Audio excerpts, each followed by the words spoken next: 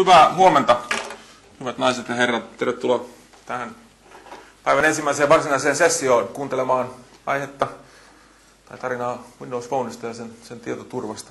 Mä oon Bergiuksen Kimmo Microsoftilla nyt viimeiset se vajaa vuoden toiminut tuomioon services-yksikössä enterprise-arkkitehtina, eli se mitä mä normaalisti teen, on, on konsultoin meidän isompia organisaatioasiakkaita heidän IT-strategioissaan, mutta netteistä, jotka ovat aikaisemmin minua jossain kuulleet, niin ovat todennäköisesti törmänneet siihen. Mä aikaisemmin vastasin kaikista asioista Microsoftilla täällä Suomessa, jotka liittyy tavalla tai toisella, tai liittyy tavalla to- toisella tietoturvaan.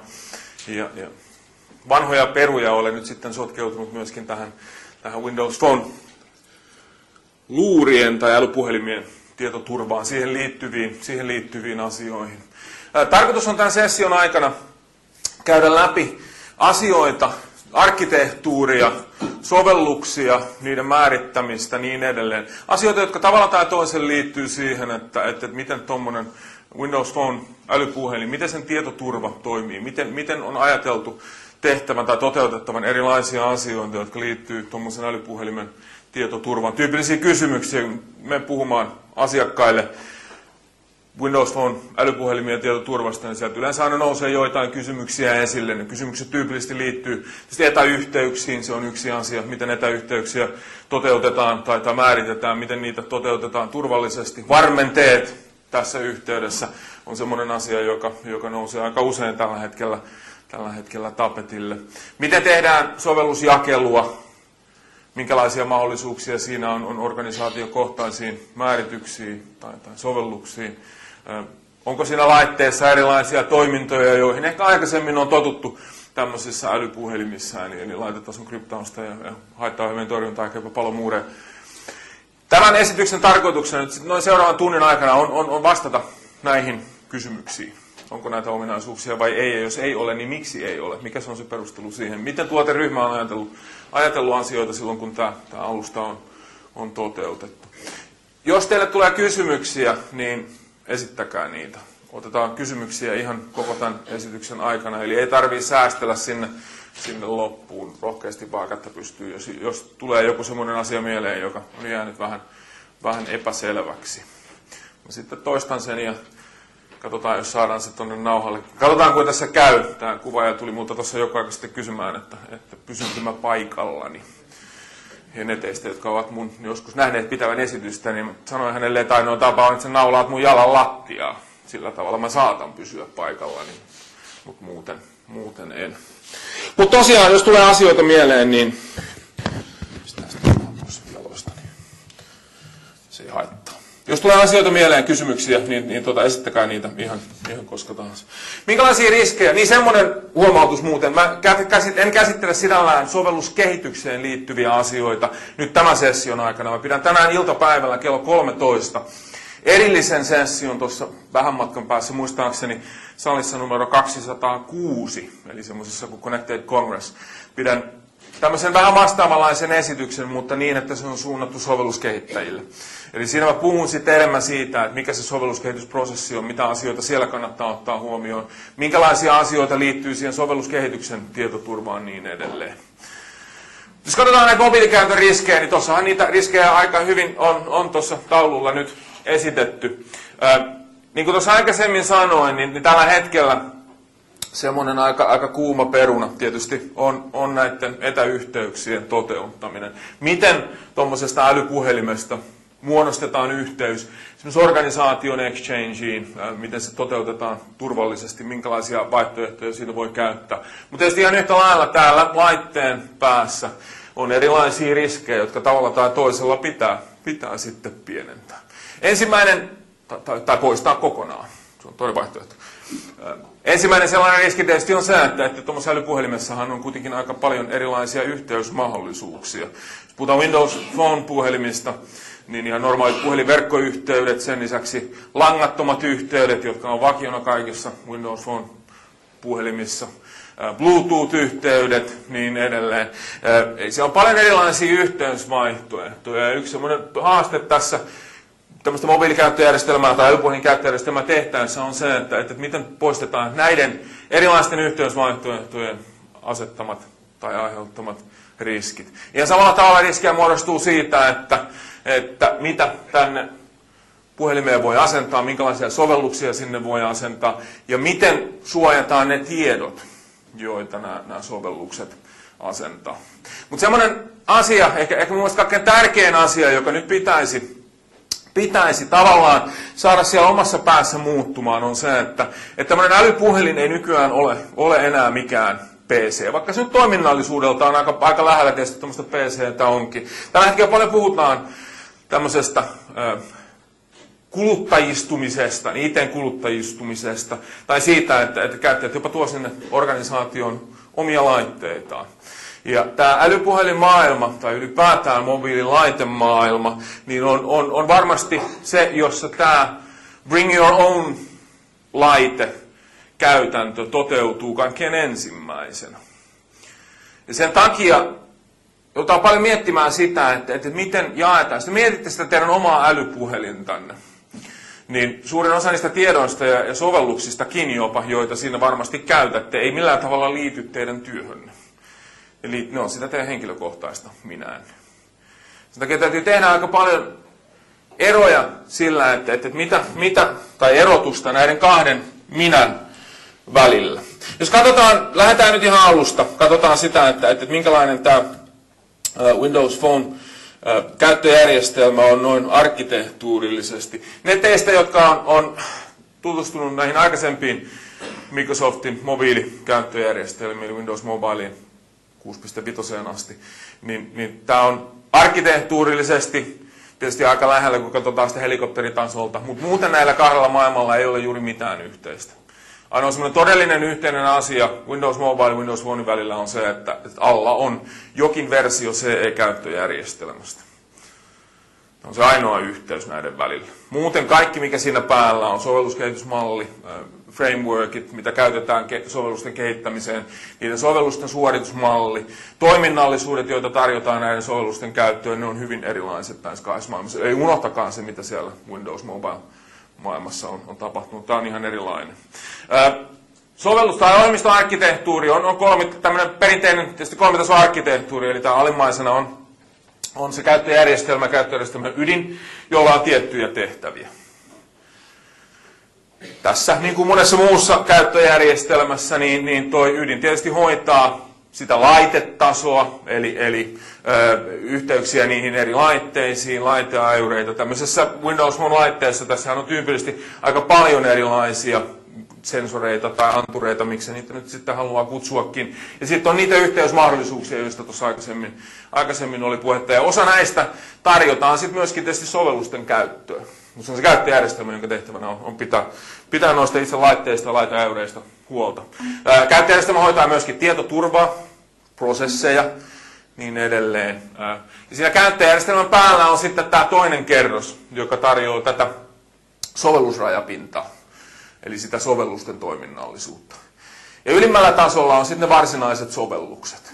Windows Phone käyttöjärjestelmässä on kahden tyyppisiä sovelluksia. Joista toiset on tuolla oikeassa reunassa, ne on niitä HTML kautta JavaScript web-sovelluksia, joita suoritetaan selaimen, eli tässä laitteessa olevan Internet Explorer-selaimen välityksellä.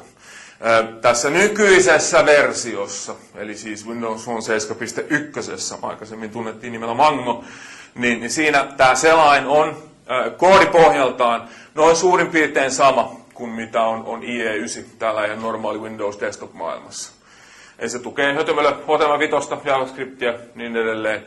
Ainoa semmoinen iso ero näiden kahden selaimen välillä on se, että, että tämä Windows Phone äh, IE ei, ei tue laajennuksia, eli siihen ei voi näitä normaaleja äädinejä laittaa ollenkaan mukaan. Se on yksi sovellustyyppi. Ja tietysti jos ajatellaan näiden selainsovellusten tai selaintoiminnallisuuden tuomista sitten ihan normaaliin sovellukseen, niin on olemassa sitten tämmöinen upotettava komponentti, jonka voi siihen omaan sovellukseensa laittaa, jos haluaa jotain selaintyyppistä sellainen tyyppistä toiminnallisuutta siihen omaan sovellukseen. Ja se toinen sovellustyyppi on sitten ne varsinaiset siihen puhelimeen asennettavat sovellukset, jotka on .NET Managed Codea, mitä voidaan tehdä kahdella erilaisella menetelmällä, eli joko Silverlight-tyyppisiä sovelluksia tai näitä XNA-sovelluksia, jotka on enemmänkin pelimaailmaan tarkoitettuja. Mutta kaikki sovellukset, joita siihen puhelimen itseensä asennetaan, joita siis tulee yhdestä ainoasta paikasta, jonka nimi on Marketplace, niin, niin ne on kaikki .NET Managed Code-sovelluksia. Ja ne kaikki käyttäytyy ihan periaatteessa ihan täsmälleen, täsmälleen samalla tavalla. Niitä suoritetaan ihan samanlaisen ajanaikaisen ympäristön päällä, niin, niin edelleen. Mä palaan siihen tuossa kohta vähän tarkemmin. Jos katsotaan tätä tietoarkkitehtuuria, niin ne perusteet, joiden, joiden päälle tämä on rakennettu, niin, niin ne on enemmän tai vähemmän tuossa. Käyttöjärjestelmän tehtävänä on valvoa sen laitteen muistin ja muiden resurssien, esimerkiksi näiden erilaisten antureiden, siinä laitteessa olevan tallennustilan käyttöä, erilaisten yhteyksien käyttöä ja niin edelleen. Se käyttöjärjestelmä valvoo näitä kaikkia. Siinä vaiheessa, kun se sovellus asennetaan siihen laitteeseen, niin sille sovellukselle annetaan tietyt käyttöoikeudet. Ja sen jälkeen se käyttöjärjestelmä valvoisi. Käyttöjärjestelmä antaa sille ne käyttöoikeudet. Sen jälkeen sen käyttöjärjestelmän yksi tehtävä on valvoa sitä, että näitä käyttöoikeuksia noudatetaan. Jos, jos sovellukselle sovelluskehittäjä on, on tehnyt sovelluksen, jossa hän ei ole tai on ilmoittanut siinä vaiheessa, kun se asennetaan, että, että siinä ei käytetä paikannustietoja. Ja sitten syystä tai toisesta, teoriassa tämä ei ole mahdollista, mutta jo hypoteettisesti olettaen näin olisi niin, niin sovellus yhtäkkiä haluakin käyttää niitä paikannustietoja, paikkatietoja. Ja se käyttöjärjestelmä estää, että se lopettaa sen sovelluksen, koska se ei, sovellus ei käyttäydy oikein. Ja sen käyttöjärjestelmän tehtävänä on valvoa, että, että pelataan näiden ennalta määritettyjen sääntöjen mukaisesti. Sovellustyypit, jotka asennetaan siihen laitteeseen, niin kuin sanottu, ne on .NET-sovelluksia, ne on kaikki tämmöisiä Managed Code-tyyppisiä sovelluksia. Tarkoittaa sitä, että, että se sovellus on välikielinen ajon aikana tai suorituksen aikana lopullisesti konekielelle käännettävä, käännettävä sovellus, jossa erilaiset tämmöiset muistin käsittelyyn liittyvät asiat esimerkiksi, jotka nyt tyypillisesti tämmöisessä Windows-maailmassa tuottaa aika paljon tietoturvaan liittyviä ongelmia, niin, niin niitä, niitä ei voi käyttää. Tämä on ihan sama kuin tuolla Windows-maailmassa, normaali Windows-maailmassa, jos on .NET-sovellus, niin, niin näiden, näiden ominaisuuksien osalta – niin se sovellus on, on sitten aika, aika rajoitettu. Sovelluksia voidaan asentaa ainoastaan sen marketplacein kautta. Eli kaikki sovellukset, jotka tuohon puhelimeen tulee, ne teistä, jotka on Windows Phone puhelimia kääntänyt, tiedätte, että ne sovellukset asennetaan sieltä sen marketplacein kautta. Tästä on yksi ainoa poikkeus, ja se on sovelluskehittäjä. Eli sovelluskehittäjä voi siinä omalla kehitystyöasemallaan lainausmerkeissä avata puhelimen ja sitten sen jälkeen asentaa siihen sovelluksia suoraan tästä sovelluskehitysympäristöstä. Mutta sekin mahdollisuus on rajattu ennen kuin sä voit sen tehdä, sun pitää rekisteröityä Microsoftille. Normaali käytössä ne kaikki sovellukset, oli ne sitten kuluttajasovelluksia tai organisaatiosovelluksia, ne tulee Marketplacein kautta. Palataan tähän kohta tarkemmin. Mä tiedän, että joku varmasti kohta kysyy kysymyksiä, joka tähän liittyy, mutta palataan siihen kohta tarkemmin. Siinä yhteydessä, kun tämä sovellus asennetaan sinne laitteeseen, kun se Marketplaceista downloadataan ja asennetaan siihen laitteeseen, niin, niin sille luodaan tämä, tämä hiekkalaatikko, sandboxi, joka sitten on sen sovelluksen oma suorituksen aikainen ympäristö.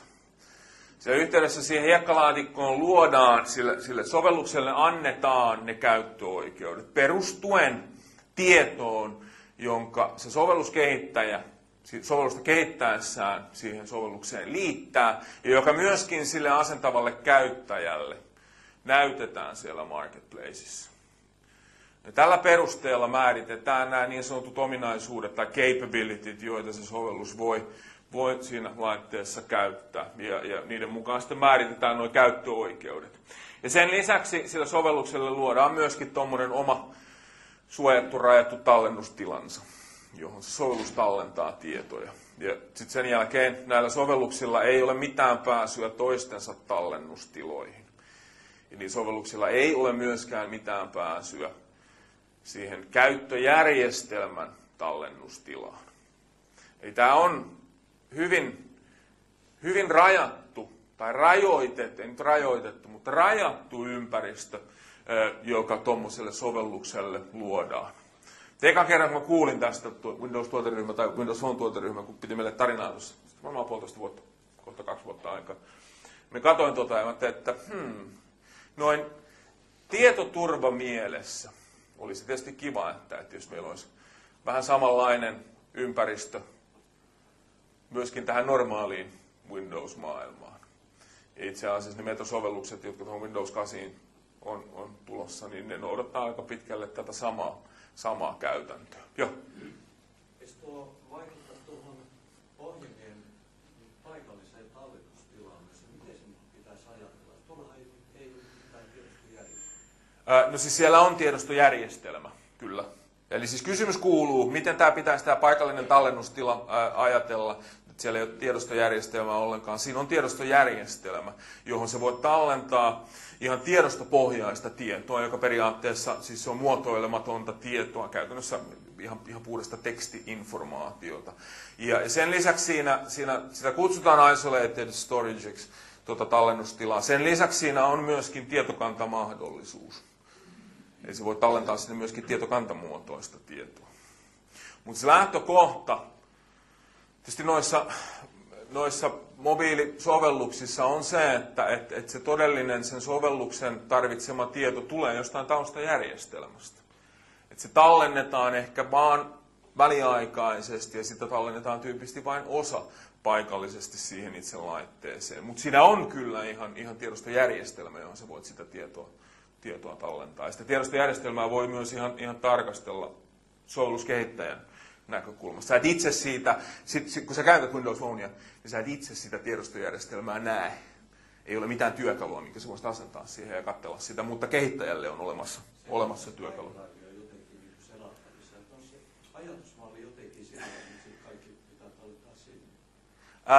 no siis kysymys kuuluu, että onko ajatusmalli se, että kaikki tallennetaan SkyDriveen, ei missään nimessä, mutta kaikki tallennetaan taustalla oleviin palvelinjärjestelmiin kyllä. Lainausmerkeissä sinne kuuluisaan pilveen, josta nyt tämä SkyDrive on, on yksi esimerkki. Jos te ajattelette niitä sovelluksia, mitä te, mitä te käytätte tuommoisessa mobiililaitteessa, niin toki iso osa niistä tiedosta tulee jostain taustalla olevasta järjestelmästä.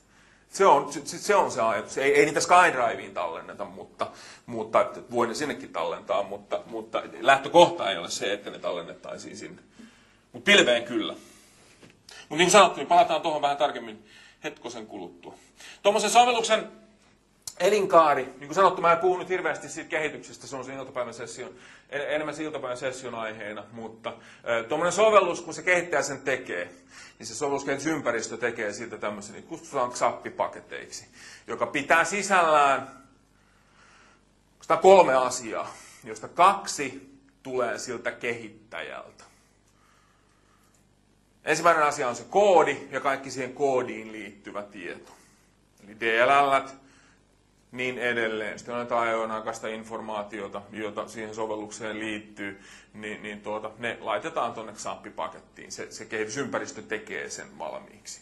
Ja sen lisäksi sinne tallennetaan myöskin semmoinen, että kutsutaan metatiedoksi, eli siis tietoa tuosta sovelluksesta ja sen, sen tarvitsemista näistä capabiliteista tai, tai ominaisuuksista. Siinä vaiheessa, kun se sovelluskehittäjä sitä sovellustaan tekee, niin hän tähän metatietoon tallentaa tiedon esimerkiksi siitä, että, että nyt halutaan käyttää. Tässä sovelluksessa tarvitaan paikkatietoja. Tässä sovelluksessa tarvitaan kalenteritietoja. Tässä sovelluksessa tarvitaan yhteystietoja siitä laitteesta. Tämä, tämä on sitä metatietoa. Nämä on niitä ominaisuuksia, joita, joita se sovelluskehittäjä haluaa käyttöönsä. Ja, ja sen jälkeen, kun se sovellus, so, sovellus laitetaan sinne marketplaceen, niin sille käyttäjälle näytetään, että tämä sovellus tarvitsee nyt tällaista ja tällaista informaatiota siitä laitteesta. Ja jotkut näistä, sellaiset tiedot, jotka jollain tavalla vaikuttaa esimerkiksi käyttäjän yksityisyyteen tai tietosuojaan. Tyypillinen esimerkki tästä on paikkatiedot. Ja siinä vaiheessa, kun se sovellus asennetaan, niin siltä käyttäjältä erikseen kysytään, että haluatko nyt sallia, että tämä sovellus saa tietää sen, että missä sinä olet. Jos se käyttäjä siinä vaiheessa sanoo, että en, niin, niin sitten sen jälkeen sitä sovellusta ei asenneta. Eli tämä on tämmöinen optin, opt-out-vaihtoehto. Joka siis vaikuttaa siinä vaiheessa, kun sitä, sitä sovellusta asennetaan.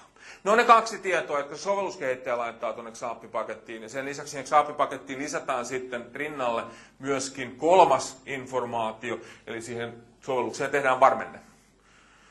Siinä vaiheessa, kun Microsoft verifioi, ja se sertifioi, tarkistaa tuon sovelluksen, ja, ja hyväksyy sen marketplace-kelpoiseksi, tämäkin on sellaista asiaa, josta puhun sitten iltapäivällä enemmän, ää, niin sen jälkeen me luodaan sille sovellukselle varmenne.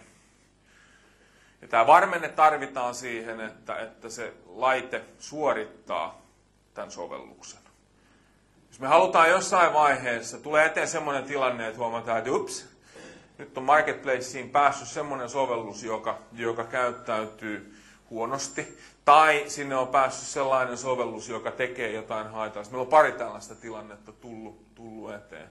Molemmat on liittynyt oikeastaan lähinnä siihen sovelluksen itsensä koodiin. Sovelluskehittäjä on huomannut, että se sovellus käyttäytyy nyt jotenkin huonosti.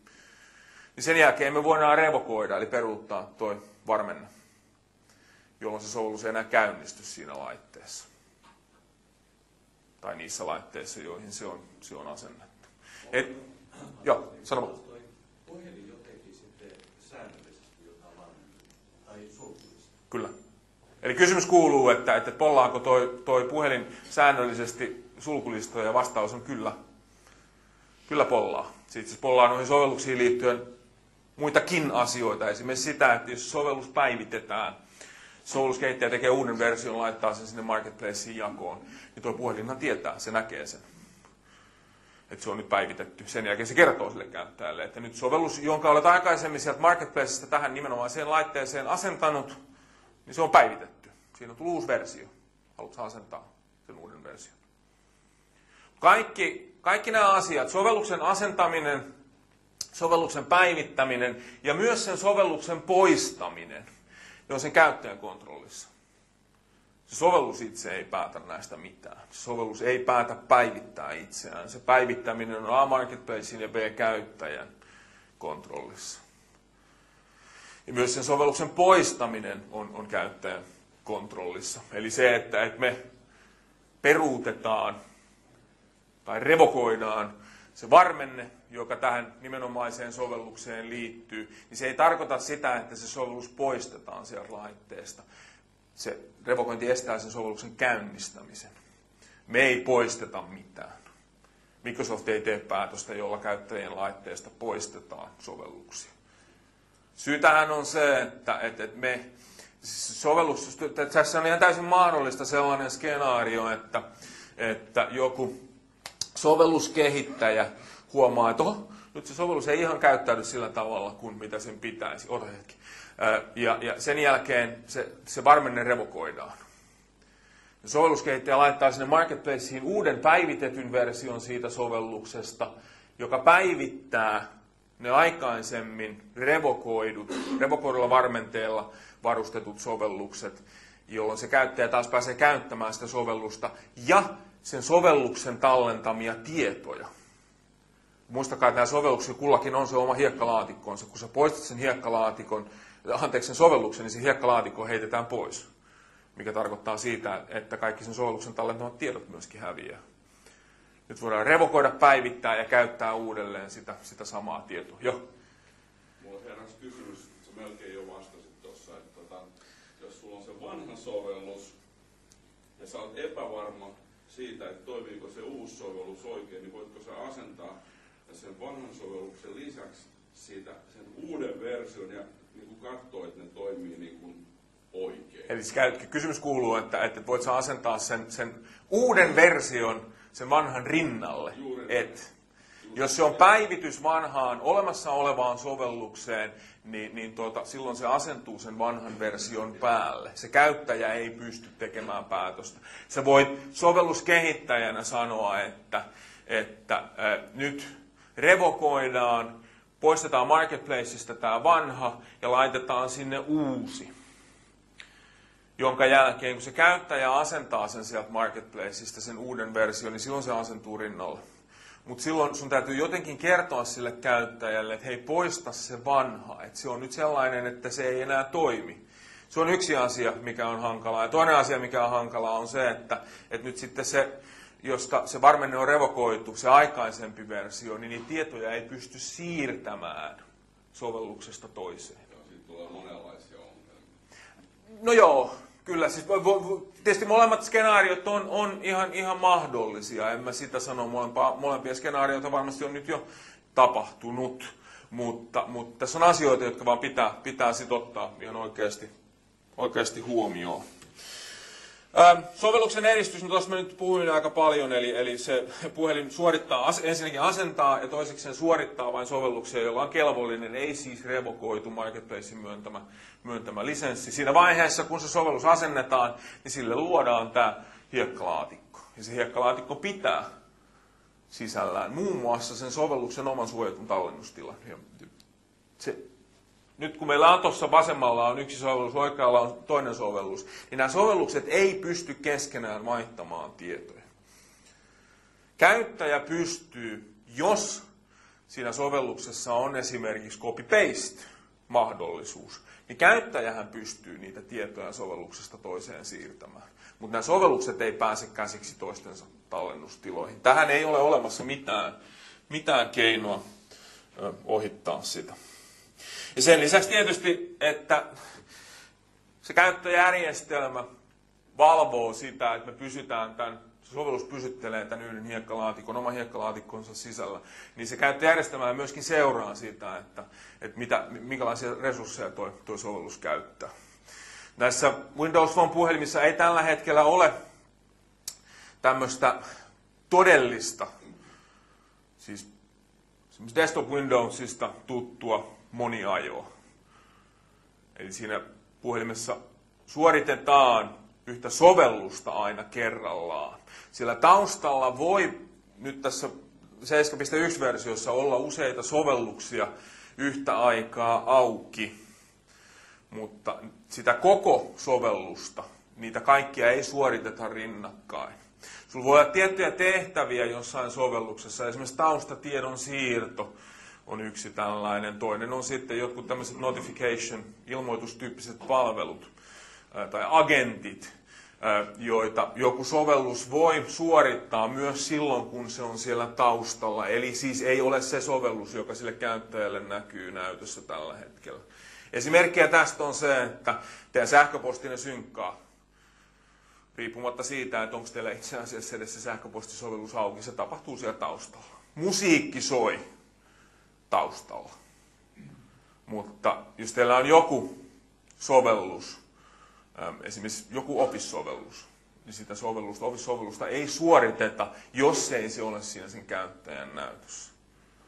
Ja tätä varten tuo käyttöjärjestelmä sitten myöskin seuraa sitä sen, sen sovelluksen resurssien käyttöä, muistin käyttöä lähinnä ää, aika tarkkaan, koska tavoite on, on kaksi asiaa. Ensinnäkin se, että että se edustalla oleva sovellus on aina tämmöinen, se vasteaika sille käyttäjälle on, on hyvä.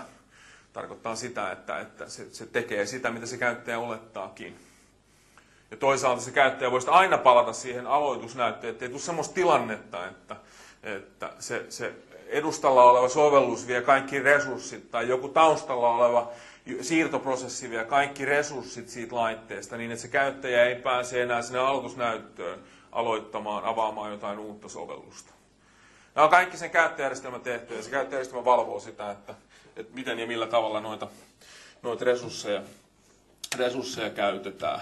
Mutta tuossa nyt vielä ehkä vähän tarkemmin siitä hiekkalaatikosta, eli jokaiselle, jokaiselle sovellukselle aloitetaan tämmöinen host-prosessi, eli siis käytännössä toi äh, CLR, tai itse CLS, ympäristö, joka, joka suorittaa sitä sovellusta. Eli sille luodaan tämmöinen ajonaikainen .NET suoritusympäristö, jossa sitä sovellusta suoritetaan, ja nämä on eristetty, eristetty toinen toisestaan. Ja tässä tietysti yksi asia, joka, joka on sitten mahdollista, kun tämä, sovelluskoodi on sitä välikielistä koodia, eli tätä niin sanottua MCU-koodia, Microsoft Intermediate Language, niin, niin me pystytään koko ajan seuraamaan sitä, että mitä se sovellus tekee, että se toimii oikein tämmöiset muistiosoitukset, suora Win32-koodin käyttö tuommoisesta sovelluksesta, niin, niin kumpikaan näistä ei ole mahdollista täällä WinPhone-maailmassa. No vielä tuosta tietoturvamallista liittyen noihin käyttöoikeuksiin.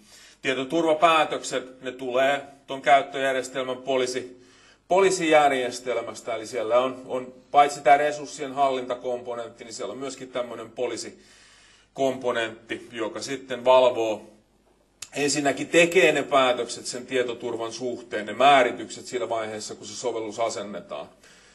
Ja toisekseen valvoo sitten ajon aikana, että näitä määrityksiä todella, todella noudatetaan. Tämä on tämmöinen kolmiosainen tai, tai kolmeen tietoon perustuva määritys. Meillä on resurssi, jota halutaan käyttää. Meillä on sovellus, eli tämä niin sanottu principle, joka sitä haluaa käyttää. Ja nämä kaksi liitetään yhteen sillä oikeudella. Miten tämä nimenomainen sovellus saa tätä resurssia käyttää? Saako vaiko ei. Osa näistä päätöksistä, itse asiassa aika iso osa näistä päätöksistä on tämmöisiä on-off-päätöksiä, on kyllä tai ei-päätöksiä. Eli saako tämä sovellus käyttää käyttäjän paikkatietoja. Se on binääri päätös, se on kyllä tai ei. Ei ole mitään sellaista välimuotoa siitä, että, että saataisiinko käyttää paikkatietoja Suomessa ja Ruotsissa, mutta ei Norjassa tai jotain muuta vastaavaa se on on off. Sen sijaan tietysti äh, esimerkiksi noihin yhteystietoihin, niin niihin voidaan sitten määrittää vähän tarkempi käyttöoikeus. Eli onko tällä kyseisellä sovelluksella oikeus lukea yhteystietoja, siis hakea tietoja sieltä yhteystiedoista. Ja toisaalta onko tällä sovelluksella oikeus myös tallentaa yhteystietoa. Nämä on, vähän tarkempia oikeuksia, mutta suurin osa näistä, niin kuin sanottu, niin ne on, on tämmöisiä kyllä tai ei päätöksiä. Ää, ja se käyttöoikeusmalli, jota nyt ihan tavalliselle sovellukselle käytetään, niin se on tämä, tämä alimmainen täällä, eli tämä niin sanottu least privilege chamber. Ää, tässä Windows on käyttöjärjestelmässä on toki myös muita näitä kammiotyyppejä en keksinyt mitään parempaa käännöstä sanoa chamber, niin päätin, että se on kammio. Näitä on neljä itse asiassa näitä erilaisia kammioita, mutta nämä kolme muuta on, on varattu ensinnäkin tässä käyttöjärjestelmä itselleen ja toisekseen joillekin erikoissovelluksille, jotka tulevat sen laitteen mukana.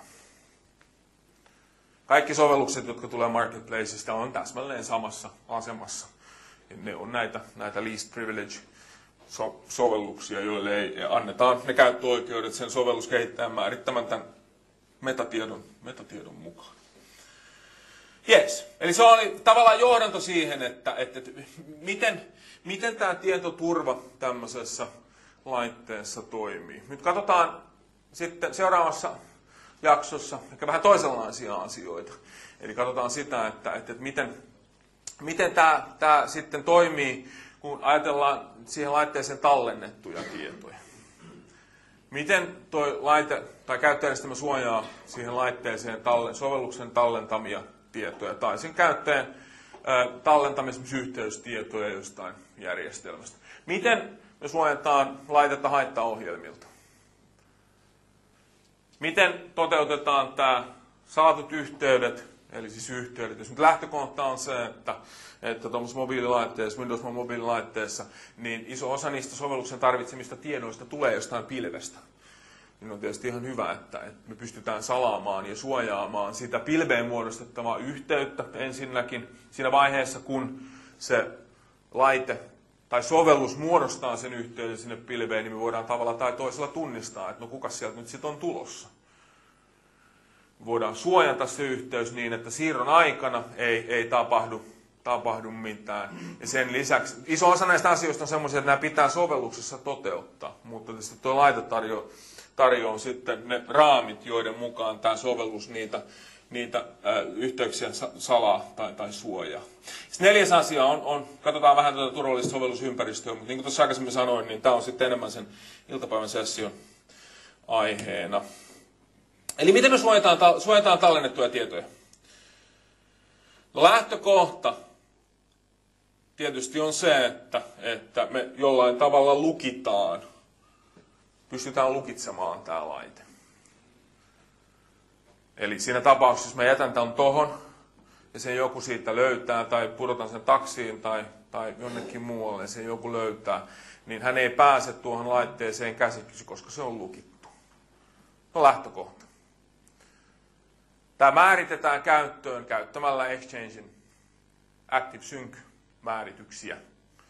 Se on se keskitetty eikä nyt varmaan seistä tuon kaiuttimen olla. Se on se keskitetty hallintatapa, jota noissa, jota noissa Windows Phone-laitteissa käytetään. Exchangein ActiveSync-määritykset on ne, joiden avulla sinne laitteeseen tehdään tämmöisiä organisaation IT haluamia erilaisia määrityksiä. Ja sen lisäksi tietysti se laite voidaan tyhjentää, eli voidaan tehdä tämmöinen niin sanottu device wipe. Laitteeseen tallennetut tiedot voidaan poistaa etäältä tai siitä laitteesta itsestään. Se voidaan tehdä pääkäyttäjän toimista, se käyttäjä itse voi, voi tehdä sen. Tässä on joitain erilaisia menetelmiä. Ja tämä on se lähtökohta. Jos tämä lukitus ei ole käytössä, niin se on ihan se ja sama, millä tavalla te suojaatte niitä tietoja. Sillä ei mitään merkitystä, koska se käyttäjä pääsee niihin käsiksi laittamalla sen laitteen päälle ja, ja käyttämällä sitä. Olihan sitten oikea käyttäjä vai ei. Sen lisäksi tuossa itse järjestelmässä on myöskin joitain, joitain vaihtoja, joitain toiminnallisuuksia siihen, että, että suojataan sitten sitä itse, itse muistia. Tallennusjärjestelmä on lukittu tuommoisen Windows Phone-laitteen muisti, siis käyttömuisti, se muodostuu kahdesta eri komponentista. Siellä on tietty määrä tällaista NVRAM-tyyppistä muistia noissa tällä hetkellä käytössä olevissa laitteissa tai markkinoilla olevissa laitteissa on 512 megaa tätä, tätä NVRAM-muistia. Ja sen lisäksi niissä on sitten joitain gigoja, vähintään 8 gigaa, joissain tapauksissa 16 gigaa tämmöistä flash-tyyppistä muistia, joka ei kuitenkaan useimmissa laitteissa ole irrotettavissa. Se on flash-muistia, mutta se on kiinteästi siinä laitteessa. Windows Phone ei tue irrotettavia muistivälineitä, eli siihen laitteeseen ei voi, vaikka teoriassa siinä laitteessa ehkä olisikin SD-korttipaikka, niin sitä korttia ei voi siitä ottaa pois. On olemassa joitain sellaisia laitteita, joissa on SD, SD-kortilla tehty se flash-muisti, mutta, mutta tota, niissäkään sitä korttia ei voi, ei voi sieltä ottaa pois ja käyttää jossain toisessa laitteessa tai vaihtaa. Se laite itse tyhjentää itse itsensä siinä vaiheessa, kun sä otat sen SD-kortin pois sieltä. Eli se teoristojärjestelmä on, on lukittu. Ja sen lisäksi, jos, jos te laitatte tämmöisen VP Phone äh, kapulan piuhalla kiinni koneeseen, uspilla kiinni, niin sehän ei näytä itseään muistilaitteena. Se laite itse estää, estää sen. Sinne ei voi suoraan siirtää mitään tietoja. Se siirto tapahtuu aina joko jonkun sovelluksen ja sen taustalla käyttämän verkkopalvelun kautta, tai sitten kun puhutaan tämmöisistä isoista mediatiedostoista, videot, musiikki ja kuvat lähinnä, niin ne voidaan siirtää siihen laitteeseen myöskin käyttämällä tuota Tsunea. Mutta Tsune ei synkronoi mitään muuta. Eli Tsunella ei voi siirtää, te ette voi PCltä siirtää tiedostoja siihen laitteeseen. Esimerkiksi niitä dokumentteja, vaan ne tulee sitten jostain pilvipalvelusta taustalta, lähiverkon tai, tai sen puhelinyhteyden yli. Ja sen lisäksi noita tietoja voidaan, ota, voidaan suojata myöskin sitten joissain tapauksissa. Ja sähköposti Exchange äh, tukee tätä Rights Management Service toiminnallisuutta tai, tai Microsoftin palvelinta, jolla niitä sähköposteja voidaan suojata. Ja sama pätee sitten myöskin yksittäisiin Office-dokumentteihin. Joo. Joo, no tuossa tulikin jo vastausta. Eli jos mä avaan sähköpostilla liitetiedostoa, niin sehän näyttää tuossa puhelimessa, että se lataa sen siitä. Joo. Missä se on siellä? Onko salattu? Miten pystyt siihen, kun näppärä hakkeri pääsee kiinni? No siis näppärä hakkeri. Kysymys kuuluu, jos on sähköposti ja, ja sä lataa sinne sähköpostia tai sen liitetiedoston, niin missä se sijaitsee, onko se jotenkin suojattu erityisesti? Jos ei käytetä RMS-toiminnallisuutta, niin oletus tilanteessa ei. Ei ole. Se tallentuu sinne sen Outlookin lainausmerkeissä isolated storageen.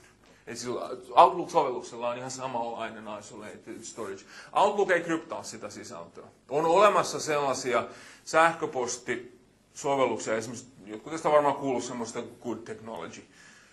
Good on tuomassa äh, näihin Windows Phone-laitteisiin käyttöliittymän sähköpostille, joka sitten kryptaa sen oman isolated storage-säilönsä.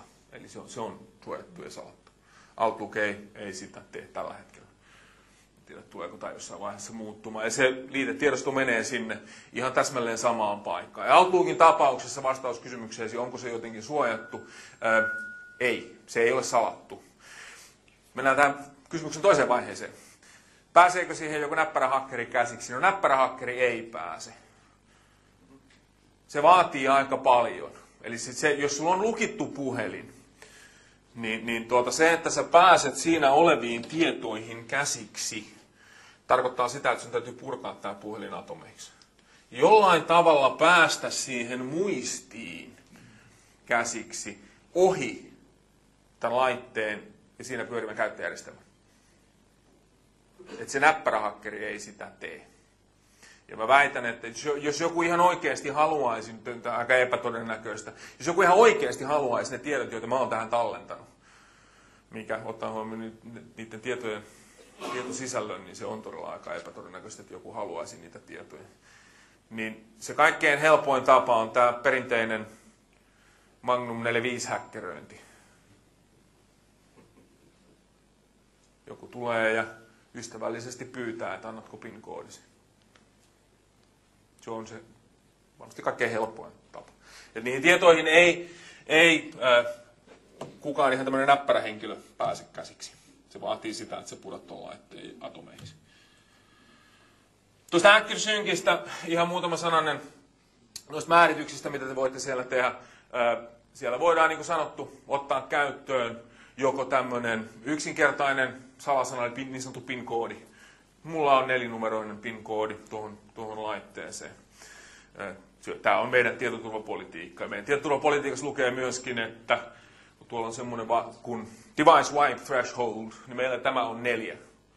Siinä vaiheessa, kun joku ottaa tuon puhelimen käteensä ja neljä kertaa syöttää siihen väärän PIN-koodin, niin se laite tyhjentää itse itsensä. Eli se tekee tämän ihan saman device wipe-toiminnon, joka tarkoittaa sitä, että se laite palautetaan alkutilaan ne tiedot poistetaan sieltä muistista ja sen jälkeen se laite palauttaa, siis käytännössä tekee ihan täsmälleen saman toiminnon kuin mitä se tekee siinä vaiheessa, kun te otatte tuommoisen laitteen käyttöön. Eli se määrittää sinne sen käyttöjärjestelmän ja siihen liittyvät asetukset. Luo tähän kaksiosaiseen muistiin uuden tiedostojärjestelmän, johon niitä tietoja tallennetaan. Ja sitten sen jälkeen tekee sinne kaikki, kaikki tarvittavat määritykset. Eli se on se, mitä me edellytetään. Ja sitten kolmas, mitä, mitä me edellytetään, mikä mun mielestä on aika, aika omalaatuinen, on tämä niin sanottu idle time and value. Eli miten nopeasti se laite menee tilaan, jossa siinä vaaditaan PIN-koodi. Meillä tämä määritys syystä tai toisesta on, on 15 minuuttia. Ja mä yleensä itse lyhennän sitä, kun on tämmöinen paranoidikaveri. Niin. Joo. Tarkoittaisiko sitä, että puhelimessa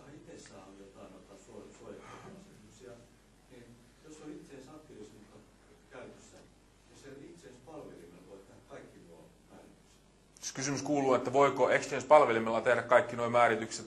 Vastaus on, että voi. Nyt seuraava kysymys tietysti on se, että, että no mikä Exchangein versio siihen vaaditaan, ja, ja vastaus on tuossa. 2003 ylöspäin sä voit tehdä nuo perusmääritykset, se, että mitä muuta se tukee, niin se vähän riippuu Exchangein versiosta. Joo. Joo.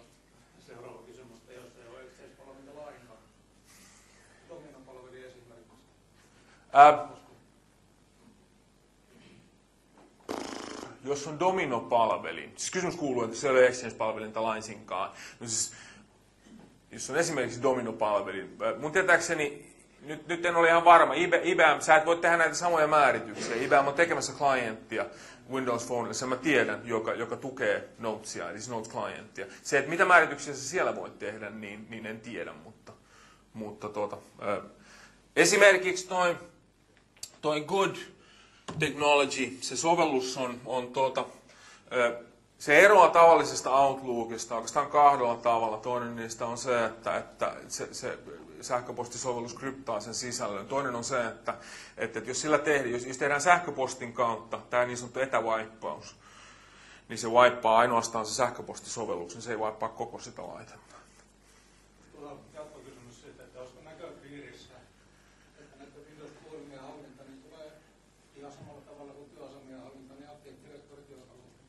Ö, Kysymys kuuluu, että onko näköpiirissä, että, että näiden laitteiden hallinta tulee Active Directorin kautta tapahtuvaksi? Vastaus on, että ei.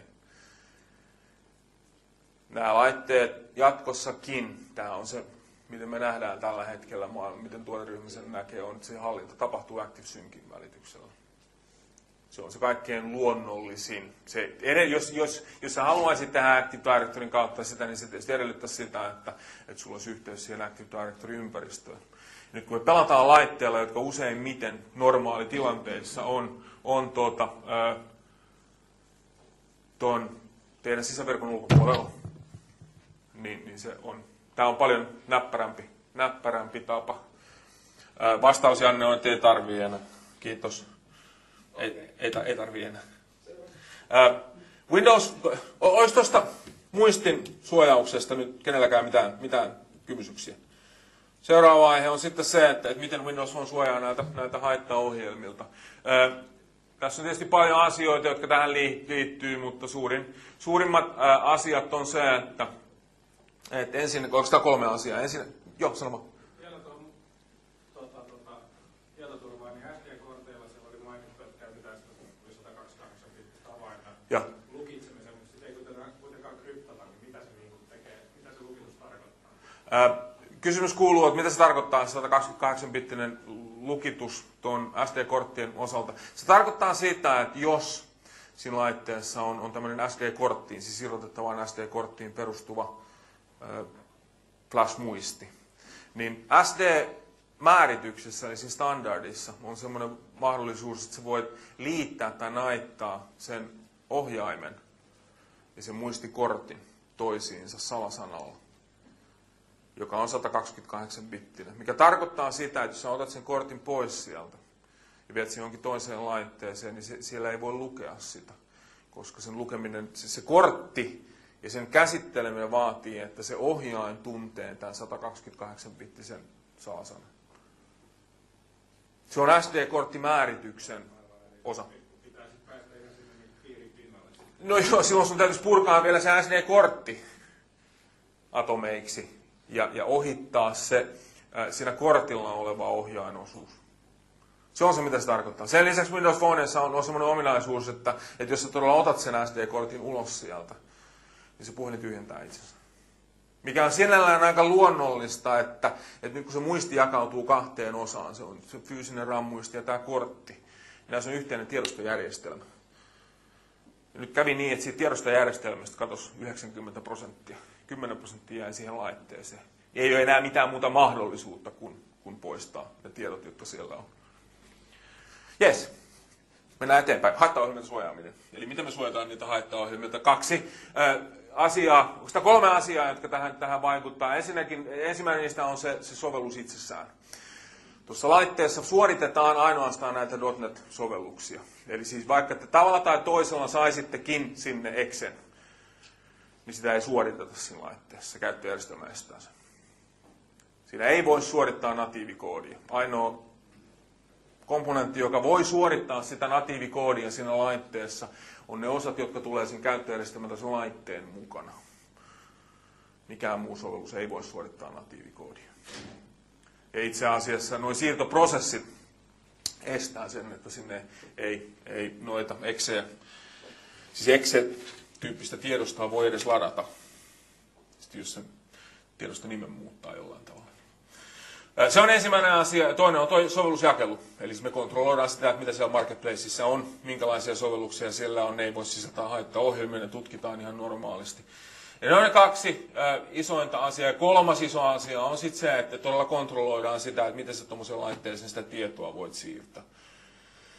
Eli siinäkin Zune ei siirrä muuta kuin tiettyjä tiedostotyyppejä ja, ja tuota, sitten tuon pilven kauttakaan, niin sä et voi siirtää tietynlaisia tai tietyn tyyppisiä tiedostoja. Sen lisäksi myöskin tämä Internet Explorer Mobile on, on lukittu samalla tavalla kuin mitä se on lukittu tuolla, tuolla, tuolla normaali maailmassakin.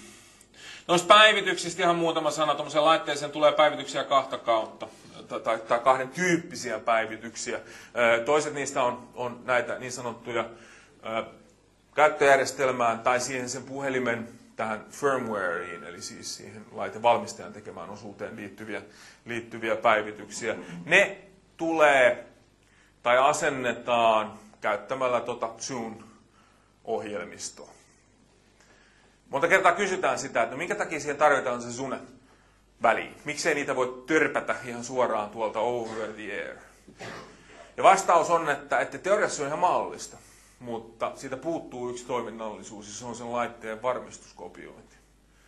Eli se Zoom paitsi päivittää, se myöskin var, tekee varmistuskopion siitä laitteesta. Jos sen päivityksen yhteydessä tapahtuu jotain, menee joku pieleen, niin sen jälkeen se käyttäjä voi palauttaa ne tiedot. Jos me tehtäisiin ihan puhtaita over-the-air-päivityksiä, meillä olisi mitään vaihtoehtoa ottaa siitä varmistusta. Sen takia se tarvitaan se sun sinne. Ja sitten toinen päivitystapa on kaikki sovellukset. Myöskin ne sovellukset, jotka tulee sen laitteen mukana. Jos teistä joku on ottanut noita lumioita esimerkiksi käyttöön, niin ensimmäinen asia, mitä sieltä tulee, mitä Marketplace ehdottaa, on, on vähintään neljä päivitystä niihin sovelluksiin. Eli sieltä tulee päivityksiä noihin Nokian Driveen ja, ja Mapseihin ja, ja sitten yhteystietoihin ja sitten siihen verkkoyhteyden määrityssovellukseen. Eli ne päivitetään ihan täsmälleen samaa, samaa kautta kuin kaikki muutkin sovellukset päivitetään. No suunnista mä sanoinkin, se, se vaaditaan noiden käyttöjärjestelmäpäivitysten asentamiseen ja, ja, ja tuon firmwarein päivittämiseen, tietojen siirtämiseen siihen puhelimeen ja sen lisäksi joidenkin asetusten tekemiseen. Eli on esimerkiksi, jos haluatte kustomoituja soittoääniä, niin siihen tarvitaan tuo Zoom. Se soittoääni siirretään sinne puhelimeen käyttämällä tuota, tuota Zunea. Ja sitten semmoinen hauska ominaisuus, joka noissa puhelimissa on, ja mä itsekin törmäsin, mä en tiennyt tätä, noissa Windows Phone puhelimissa on, on tämmöinen parental control-toiminto. Eli jos se live-ID on, on alaikäisen live-ID, niin ennen kuin mä käyn hyväksymässä, niin se alaikäinen ei saa Marketplaceista asentaa mitään. Ei edes ilmaisia ohjelmia.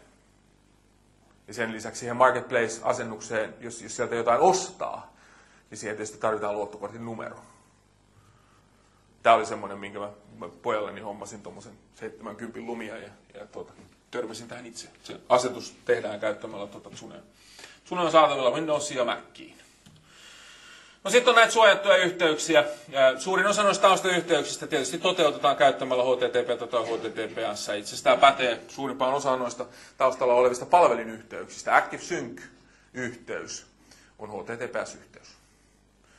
WAG-yhteys, jota voidaan, WAGia voidaan käyttää esimerkiksi SharePointin julkaisemiseen sieltä teidän intranetistänne. Myöskin näihin Windows Phone-laitteisiin se yhteys on HTTPS-yhteys. Eli suurin osa noista palveluyhteyksistä siellä taustalla, niin kuin palveluyhteydet tuolla netissä yleensäkin tällä hetkellä, niin ne on HTTP, HTTPS-yhteyksiä, joissa pätee ihan tämä, täsmälleen samat lainalaisuudet kuin, kuin missä tahansa muussakin HTTP, HTTPS-yhteydessä. Voidaan palvelin päässä käyttää varmennetta, voidaan käyttää sekä self-sign-varmenteita että kaupallisia varmenteita. Mutta niiden varmenteiden pitää olla luotettuja. Eli siellä pitää sitten olla myöskin juuri niille, niille varmenteille. Sen lisäksi voidaan käyttää myöskin käyttäjäpään, äh, käyttäjäpään varmenteita. Joissain noissa äh, oletuksena mukana tulevissa sovelluksissa, eli lähinnä Outlookissa ja SharePointissa, voidaan käyttää sitten myöskin NTLM-autentikointia. Muutenhan tämä autentikointi, joka tehdään siitä sovelluksesta sinne taustajärjestelmään, niin, niin se on tyypillisesti tällainen HTTPS-suojattu äh, basic-tyyppi, siis lomake, lomakepohjainen autentikointi. No noista varmenteista, tämä on varmaan semmoinen ehkä kuumin peruna tällä hetkellä, että miten tuon puhelimen kanssa käytetään varmenteita. Niin kuin sanottu, voidaan käyttää sekä palvelivarmenteita että käyttäjäpäävarmenteita. ActiveSync käyttäjä voidaan tunnistaa myöskin varmenteella. Se on ihan, ihan täysin, mahdollista.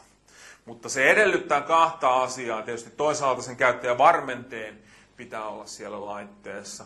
Ja tähän ei ole olemassa tällä hetkellä mitään keskitettyä mahdollisuutta viedä sinne näitä varmenteita, vaan se tapahtuu jommalla kummalla kahdesta tavasta. Joko se downloadataan joltain webisivulta, johon se on generoitu, tai sitten se lähetetään sille käyttäjälle sähköpostin välityksellä. Nämä on ne kaksi tapaa. Ja sen lisäksi, että sinne saadaan se käyttäjävarmenne, niin kuin sanottu, noiden kaikkien varmenteiden pitää olla luotettuja. Toi ei kysele muuta kuin tietysti IEssä. Eli siis selaimessahan kysytään, että, että nyt näyttää siltä, että tämä varmenne, palvelinvarmenne ei ole luotettu. Ihan samalla tavalla kuin normaali IE9 kysellään. Käyttäjät kysytään, että no haluatko nyt kuitenkin mennä tälle saitille. No muut sovellukset ei, ei tällaista kysymystä esitä. Sen parventeen pitää olla luotettu, siellä pitää olla juuri sille, riippumatta siitä, että onko se self-signed vai kaupallinen se, se varmenne. Tästä, jos joku haluaa lisätietoja, niin, niin tuota, ää, laittakaa mulle sähköpostia, niin mä laitan teille semmoisen ohjeen, joka liittyy tähän varmenteiden käyttöön. Joo. Onko VPN-klientteja marketplaceissa? Vastaus on, että eipä ole. Miksi? No, johtuu siitä, että, että sä saat sen VPN-klientin synkronoimaan tai, tai luomaan sen VPN-yhteyden siihen omaan hiekkalaatikkoonsa. Eli ei, ei, ei, ei, ole, ei ole. Ei. Siellä ei ole mitään valmiina, jolla se voisit tämän tehdä. Eli ei ole VPN-klienttia, eikä todennäköisesti tällä mallilla myöskään tule. Ja syy on ihan puhtaasti se, että, että se sovellus on rajattu siihen omaan tallennusalueeseensa. Ne sovellukset ei voi jakaa tällaista toiminnallisuutta. Sen takia suojataan, se, se sovellusyhteys muodostetaan siitä, palvelun yhteys muodostetaan siitä sovelluksesta itsestään. Ja se suojataan käyttämällä jotain noita tuossa äsken mainitsemiani menetelmiä. No live-tunnuksesta se tarvitaan määritetään siinä vaiheessa, kun se puhelin otetaan käyttöön, sen voi myöskin ohittaa, mutta se tarkoittaa sitten sitä, että, että Marketplaceista ei voi asentaa sovelluksia. Eli Marketplacein käyttöä varten tarvitaan tuo live-tunnus. Muuten sitä puhelinta voi ihan hyvin käyttää ilman sitä, sitä live-tunnusta. Joo.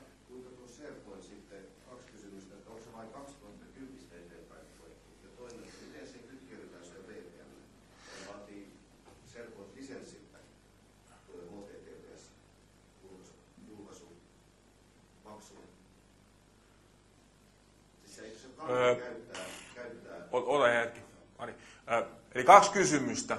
Miten kytkeydytään SharePointiin? Vaatiiko se, vaatiiko se 2010? Ja toinen kysymys, tai jatkokysymys tähän, että, että vaatiiko HTTPS-yhteys eri lisenssiin? Ei mun tietääkseni, siis se, että onko se HTTP-yhteys siihen, siihen SharePointiin vai HTTPS, ei se vaadi erillistä lisenssiä. Kaikki lisenssit tukee sitä Foundationista alkaen. Se riippuu siitä, että miten se määritetään. Se, että sä tarvitset siihen ehkä kaupallisen varmenteen, niin se on sitten toinen, toinen kysymys. Mutta SharePoint, sä voit SharePointin tehdä kummalla, kummalla tavalla tahansa. Ää, jos sä käytät siis normaaliin SharePointiin tai mihin tahansa web-sivuun, sä voit ottaa yhteyden sen, sen selaimen välityksellä. Mutta se Office Hub, josta muodostetaan tämä varsinainen SharePoint-yhteys esimerkiksi UAGin välityksellä, niin se vaatii SharePoint 2010.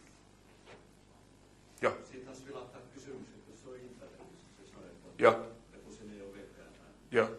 Jos se on SharePoint, jos SharePoint on intranetissä niin, ja sinne ei ole VPN, niin miten se yhteys toteutetaan? Kaksi eri tapaa. Se voit julkaista sen käyttämällä UAKia. Että puhelin tukee UAK-yhteyksiä, jolloin se ottaa yhteyden siihen määritettyyn UAKin trankkiin tai trunkkiin, jonka kautta ne SharePointit on, on julkaistu. Ja sen jälkeen katsoo sieltä, että mitä kaikkea siellä on julkaistu. Ja sit, jos, jos sulla on, on tämmöinen sisäinen intranet-nimi sille, sille SharePoint-palvelimelle, niin se osaa automaattisesti mennä sen trunkin kautta sisään. Ja sitten muut palvelin yhteydet menee muuta kautta. Se on yksi vaihtoehto. Tai sitten voit julkaista sen jollain toisella menetelmällä. Ei siellä välttämättä uakia tarvita. Mutta silloin se on ihan normaali webiyhteys.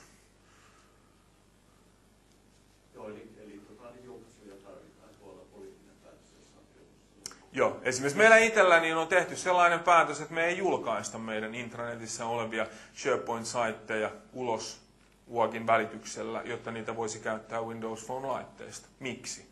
No, se perustuu ihan puhtaasti siihen, että meillä kaikilla on noin kannettavat tietokoneet mukana.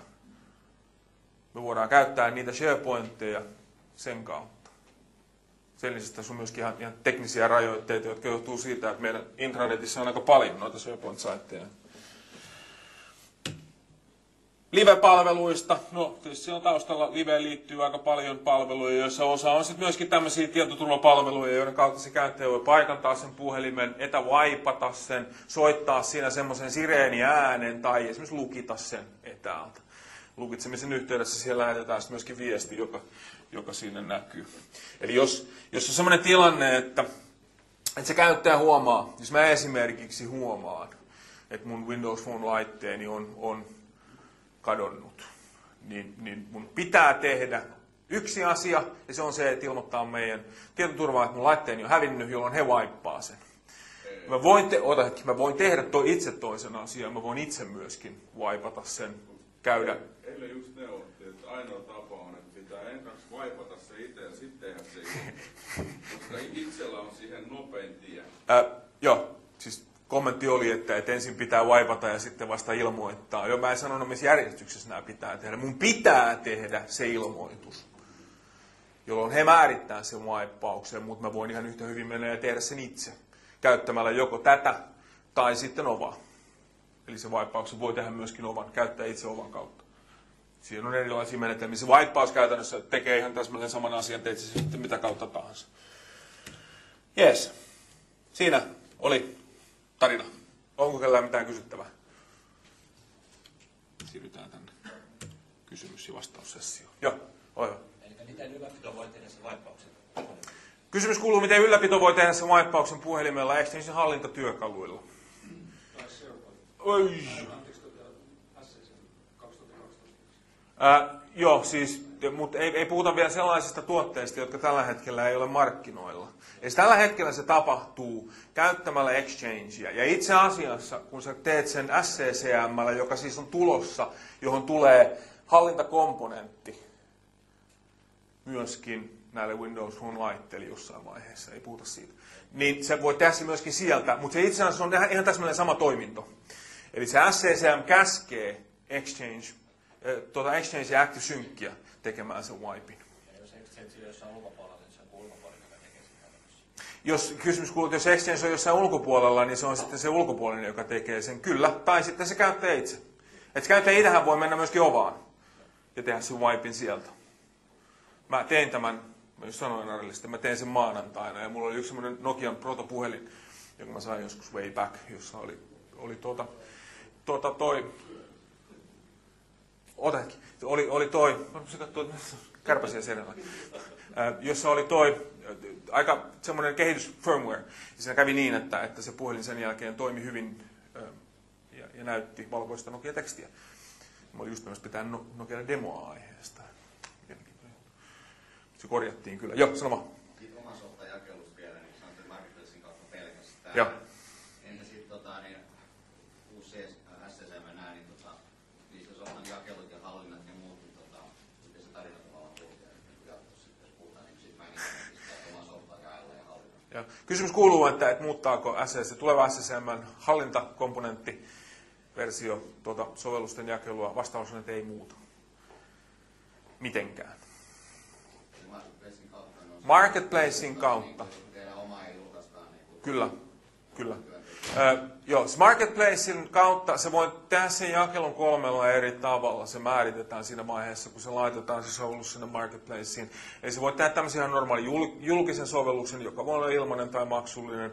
Se voi tehdä niin sanotun beta-jakelun. Ja sitten se voi tehdä tämän, joka on siis rajoitettu ajallisesti.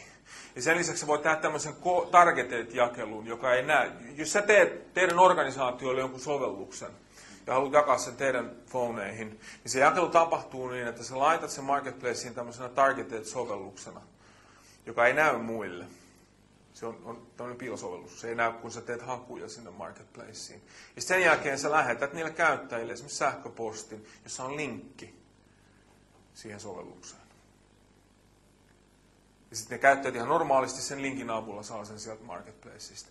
Tämä, niin kuin nyt huomaatte, niin tämä ei ole mikään tietoturvaraja. Eli Marketplace tai Microsoft ei ota mitään kantaa siihen, että sinä saat sen mailin ja lähetät sen hänelle. Ja hänkin pystyy sen asentamaan, olihan sitten ihan missä tahansa. Nopea. Syntyykö kustannuksia siitä meille, me jaetaan kautta? Syntyykö Mark- Joo. Syntyykö Marketplaceissa kustannuksia sille, että, että te jaatte softaa?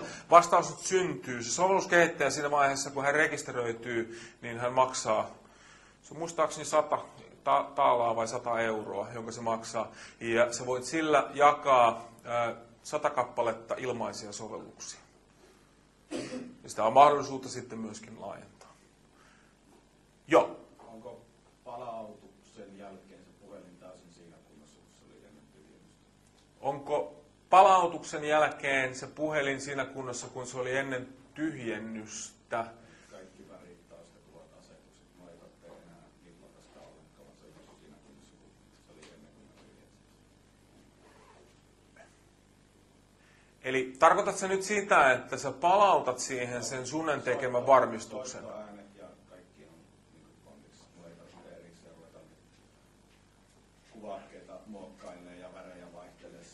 Kyllä, siis se, jos sä tarkoitat sitä, että sä palautat siihen sen sunen tekemän varmistuksen, niin se puhelin on siinä kunnossa, missä se oli silloin, kun se varmistus tehtiin.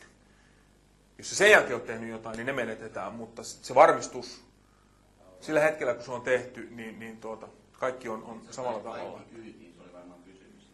Joo. Joo. siis ihan kaikki niitä. Se tuo asetukset ja tiedot. Tehdä, että se on niin se tuota. Ei ole mitään tapaa tehdä backupia, se on backupia syntyy vaan siitä käyttiksen päivityksessä. Kyllä, kyllä.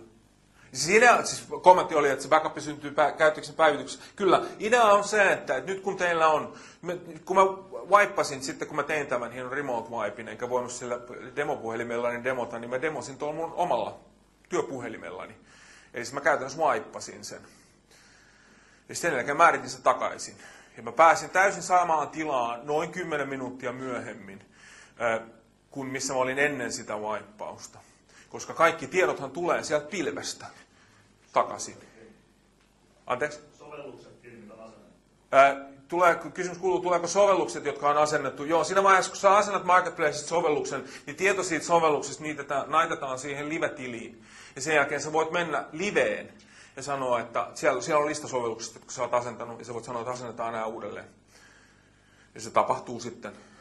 Out. Se kestää vähän aikaa tietysti, kun ne kaikki tiedot siirretään. Ainoa, mikä, jää, ainoa, mikä on tämän ulkopuolella, on SMS-viestit.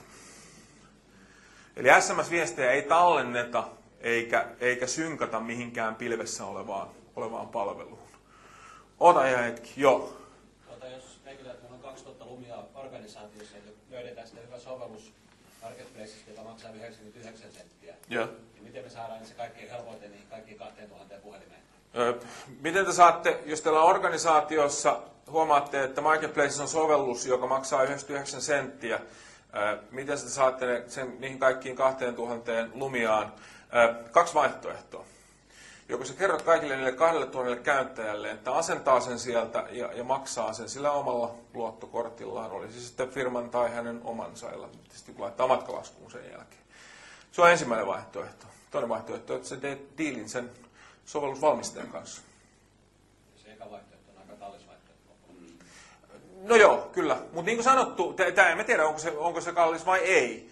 Ää, aika monessa tapauksessa, siis, siis, siis tuota, ottakaa ää, joo, aika monessa tapauksessa tämmöiset organisaatiokohtaiset sovelluksethan on semmoista, luonteeltaan sellaisia, että, että se käyttöliittymä ei maksa, se käyttö maksaa. Lynkki on hyvä esimerkki. Se sovellus on, on marketplace, se voi kuka tahansa asentaa, mutta se edellyttää sitä, että, että sulla on lynkkipalvelin, johon se ottaa yhteyttä. Keski-ikä on 45 ja vähän vanhempia rouvashenkilöitä, niin he menee kaksi tuntia ennen kuin saa sinne sunen syötetty luottokorttitiedot ja tällä tavalla. Että se, se ei ole, sen takia se ei ole halpa vaihtoehto, että työaikaa menee käsittämättömän paljon hukkaan. Siis kommentti oli, että, että nyt en ota mitään kantaa tähän demograafiseen tai iälliseen jakaumaan. Että on käyttäjiä, joille tämä voi olla ehkä vähän vaikeampi, vaikeampi tehtävä toteuttaa. Joo, voi olla. Itse asiassa mä en ole tuosta ihan samaa mieltä. Ja se johtuu siitä, että sä ajattelet niitä käyttäjiä, niin kyllähän ne nyt käyttää tämmöisiä puhelimia jo, jo muutenkin. Mun äitini, hän on huomattavasti enemmän iältään kuin, kuin mitä tämä mainitsemme, se 45 vuotta. Ja hän asentaa marketplaceista ihan sujuvasti niitä sovelluksia. Tuohon tarvitaan oikeasti parempi malli. Mä niin kommentoin kysyjä siihen. Ää, tähän, tarvitaan, kommentoin, tähän tarvitaan parempi malli. Mä en sanonut, että tämä on ainoa malli. Ää, niin kuin sanottu, sä voit tehdä diilin sen sovelluskehittäjän kanssa. Esimerkiksi ää, Microsoft on tehnyt semmoisen sovelluksen kuin Apps for Work, joka on siis meidän sisäinen sovellus. Nyt sen voi asentaa tämän kuuluisan linkin, targeted linkin kautta tuohon mun puhelimeeni. Ja sen jälkeen tämä Apps for Work-sovellus pitää sisällään listan niistä sovelluksista, jotka on meidän lainausmerkeissä sisäisiä sovelluksia. Ja nyt mä voin sitten avata tämän sovelluksen, autentikoitua tietysti taustalla olevaa järjestelmää, jolloin mä saan sen tuoreimman sovelluslistan sieltä, ja sen jälkeen klikata jotain näistä, jolloin se välittää sen linkin, ilman että se käyttäjä näkee sitä linkkiä millään tavalla, marketplaceille, ja se sovellus asentuu sieltä marketplaceista ihan normaalisti. Ei tämä, tämän käyttö edellyttää sitä, että, että se käyttäjä osaa asentaa tämän yhden sovelluksen ja sitten klikata listaa siellä sen, sen sovelluksen sisällä. Toi on parempi tapa. Joo. Ei taida olla ihan, käsityksessä. Siis tämä Apps for Work, se on Microsoftin itselleen tekemä sovellus. Eli se, se ei ole julkisessa, tai on se marketplaceissa, sä et vaan näe sitä. Mä näen. Joo, Onko siinä tota, niin, mitään rajoitusta, kuinka paljon Marketplaceissa julkaistu sovellus tavallaan pystyy päivityksen yhteydessä muuttumaan, jos alkuperäinen on ollut niin, se ei käytä paikkatietoa, niin voiko päivitetty versio vaatii paikkatietoa? Kysymys kuuluu, että, että voiko se sovellus muuttua siellä marketplaceissa? Ehdottomasti. Jos, jos sä haluat muuttaa niitä ominaisuuksia, edellyttäen, että se menee tässä meidän sertifioinnista läpi. Metatieto ja sovellus, sovelluksen toiminnallisuus vastaa toisiaan. Niin, niin silloin kyllä se päivitys laitetaan sinne marketplaceen. Tämä tarkoittaa sit sitä, että sieltä käyttäjältä kysytään, että haluaako hän sallia ne paikkatietonsa. Ja tässä tapauksessa, jos hän ei salli niitä, niin silloin sitä päivitystäkään ei asenneta. Mutta ei me oteta mitään kantaa siihen. Niin kauan kun sä pysyt näissä rajoissa, mitkä me on määritetty ja mitkä on dokumentoitu, niin se on ihan sun, toisaalta sun sovelluskehittäjänä päätettävissä ja toisaalta sen asentavan käyttäjän päätettävissä. Haluatko sen sallia nämä asiat? Me ei oteta siihen mitään kantaa. Niin kauan kuin ollaan näiden rajojen sisällä. Joo. Pari kysymystä. Pystyykö lähettämään liitetiedosta ja toinen, että onko tuohon sovelluksen jälkeen voinut oikeasti miettiä mitä järkevämpää? Öm, Eli ensimmäinen kysymys on, että voiko sähköpostilla lähettää liitetiedostoja? Vastaus on, että voi. Niin, kaikkia ohjelmia. Koskeeko hiekkalaatikko kaikkia ohjelmia? Tämä, oli, ju, tämä oli juuri se tarkennus, minkä mä tulen, tulen tekemään tähän. Sä voit lähettää liitetiedoston niin kauan, kun sä lähetät sen siitä Outlookista. Jos sä tarkoitat sitä, että joku toinen sovellus haluaisi lähettää liitetiedoston, niin se ei ole mahdollista. Eli mä teen. Ja, kyllä. Office, tää, niin, siis se hiekkalaatikko noissa Office-sovelluksissa on, on ikään, ikään kuin se Office Hub, mikä nyt on ihan luonnollistakin, koska on aika todennäköistä, että sä saat jotain Office-dokumentteja sähköpostin liitetiedostoina, sun pitää saada niillä Wordeilla ja bla bla bla bla bla auki, toki, eikö? No siis sovellus, eh, kysymys kuuluu, että, että koskeeko tämä myöskin kuvia. Sovellus äh, voi käyttää puhelimeen tallennettuja kuvia. Se on yksi näistä ominaisuuksista. Mutta sekin tietysti pitää sitten etukäteen päättää ja, ja, ja hyväksyä. Tämä toinen, niin siis kun vähän jatkan tätä, jos sulla on joku sovellus, joka haluaa lähettää sähköpostin, jos sä teet sovelluksen, niin sä haluat, että sillä sovelluksella voi lähettää sähköpostia. Onko se mahdollista? Vastaus nyt on. Se voi tehdä sovelluksen, joka käyttää tämmöistä, sitä kutsutaan launcher taskiksi. Jossa sanotaan, että, että mä haluan nyt lähettää siitä sovelluksesta sähköpostin, se on itse asiassa yksi metodi tai, tai, tai yksi funkkarikutsu, jossa välitetään parametreina vastaanottajatieto, sen, sen sähköpostin aihetieto ja sitten viesti. Mutta sä et voi siihen liittää liitetiedostoa. Mitä tapahtuu, kun tämä funktiokutsu siinä sovelluksessa esitetään, ajetaan, se luovuttaa sit kontrollin ihan normaalille Outlookille. Ja sen jälkeen se käyttäjä näkee sen viestin siinä Outlookissa ja sitten hänen pitää painaa sitä lähetä nappia. Sama pätee SMS-viesteihin. Se voit lähettää sovelluksessa SMS-viestin, mutta sen käyttäjän pitää lähettää se. Se sovellus ei voi lähettää SMS-viestiä niin, että se käyttäjä ei tiedä sitä. No sitten tämä toinen kysymyksesi liittyen siihen, että onko tähän sovellusjakeluun mietitty muita keinoja. Vastaus on mietitty. Onko niitä tulossa? No, tällä hetkellä ei. Eli siis Marketplace on ja näillä näkymin säilyy siinä paikkana, josta ne sovellukset asennetaan. Miksi? Se syy on se, että, että sillä tavalla kontrolloidaan sitä, sitä sovellusparkkia, niitä sovelluksia, joita siihen puhelimeen tulee. Jos sä voit tehdä sen keskitetysti organisaatiossasi, niin joku ulkopuolinen haittatyyppi voi tehdä sen ihan yhtä hyvin. Eli mun pitää opastaa 2000 käyttäjälle, miten luodaan live-tili, ja sen jälkeen nyt opastaa niille, että mitä se oikeastaan softaa. Öö, nyt edelleen, siis sun pitää opastaa 2000 käyttäjälle, että miten tehdään live-tili. Öö, mä olen vähän eri mieltä tosta, siis älkää aliarvioiko niiden käyttäjien. No, Kaikilla iPhone käyttäjillä, mitä on, on, niin teillä ei ole, ei ole iPhone-tiliä käytössä. Ne vaan käyttävät sitä puhelimena. Pelkästään puhelimena. Ei saataisiin nyt kuormittaa sitä jengiä oikeasti sillä tililuomisellakaan. Pitäisi mennä niin Se on kuitenkin puhelin, ja siihen voi tulla jotain yrityksen tarvitsemia sovelluksia. mutta Ehdottomasti. jaella niitä siinä. Ehdottomasti. Ehdottomasti. Mutta siis älkää, älkää aliarvioiko niitä käyttäjiänne. Mä väitän, että su, suurimmalla osalla niistä on, on se tili jo. Joku tili. Koska ihan samalla tavalla, ihan samalla tavalla iPhoneen tarvitaan se tili, Androidiin tarvitaan joku tili. Kaikilla ei ole sitä. Eikä tule ikinä olemaankaan. Mutta siis tämä on kokemus, että kerron, että ei kaikilla iPhone käyttäjillä ei ole iPhone-tiliä. He käyttävät sitä pelkästään puhelimena. Joo, kyllä. Ja siis ky- siinä tapauksessa, että sä hommaat heille lumia. Ja siis kommentti on se, että he käyttää sitä ihan puhelimena. Voit sä käyttää lumiaa ihan puhelimella? Voit. Ilman sitä live-tiliä. Kyllä, ehdottomasti. Mä olen käyttänyt sellaista vuoden niin. On, mutta ongelma just tulee tämä, kun yrityksen tarvitsemia sovelluksia pitää saada siihen puhelimeen, niin silloin joutuu tekemään tämä. Siinä pitää sen takia tämä toinen asennustapa täytyy olla olemassa. Ei ole. Vastaus on, että et, ei, ei, ei, ei, ei ole. Ja siis syy, syy siihen, syy, perustelu sille on edelleen se, että tällä tavalla kontrolloidaan niitä sovelluksia, jotka siihen laitteeseen tulee. Ja oon edelleen sitä mieltä, että tämä kuluttajistuminen on ihan, ihan todellinen asia. Se, että onko niillä käyttäjillä sitä live-tiliä, ei varmasti kaikilla käyttäjillä ole. Osaako ne sen luoda?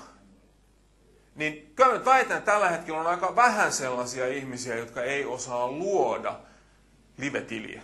Kyllä niitä on aika paljon. Ää, Jos menet IT-alueesta ulos, niin niitä on kyllä paljon.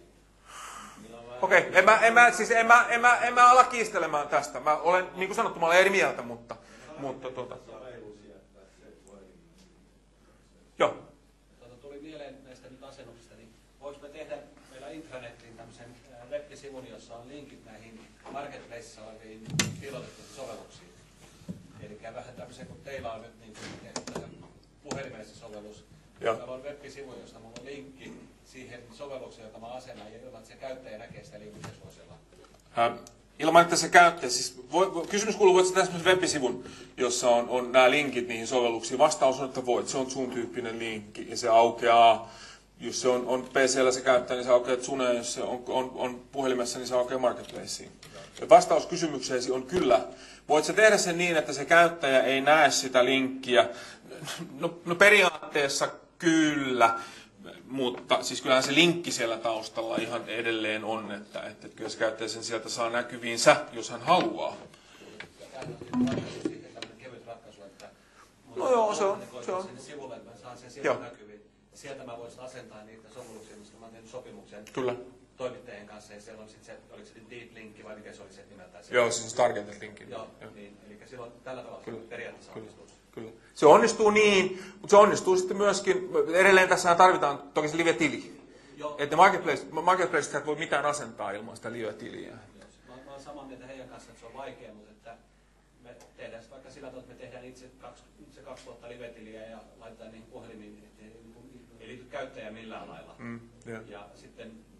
Se, se hoidetaan jotenkin sinne, mutta että ei, ei käyttäjä ei rupea itse tekemään niitä livetilejä käytännössä meillä. Ja sitten se, se että he ei syötä sinne mitään luottokorttitietoja sen jälkeen.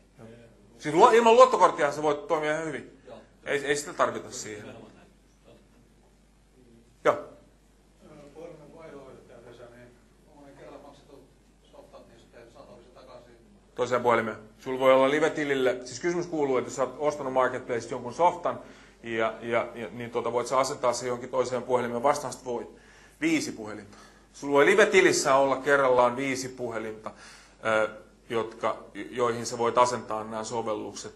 Ja sä voit 30 päivän välein vaihtaa niistä sovelluksista tai puhelimista yhden. Joo. Tämä on oikeastaan just tähän edelliseen kysymykseen kautta tulikin vastaus. että Tiedän, että tietyt yritykset tappelee livetilien kanssa ja sen takia on päättänyt, että laitetaan kaikki sama livetile kaikkiin puhelimeen. Joo. Jos on tuhat puhelinta, niin voi käyttää Ei. samaa livetiliä. Ei voi. Joo. Joo, siellä takana. Ö, Voiko asennetaan, tuo Intel tämä puhelin, uusi puhelin, asennetaan se valmiiksi, tehdään joku ITn oma livetili, millä me asennetaan. Joo. Käyttäjällä on puhelin, poistetaan se livetili, käyttäjä tekee sitten, voi tehdä sinne omansa. Joo. Päivittyykö se softa, vaikka se on asennettu eri livetille? Ei. Ja sä et voi itse asiassa tehdä noin. Jos sä määrität siihen puhelimeen live-tilin, niin sitä ensimmäistä live-tiliä ei voi poistaa. Se on siellä. Se on se, jo- johon liitetään ne sovellukset. Live-tilejä voi sinällään laittaa sinne lisää, ja niitä voi poistaa, mutta sitä ensimmäistä sä et voi vaihtaa. Joo.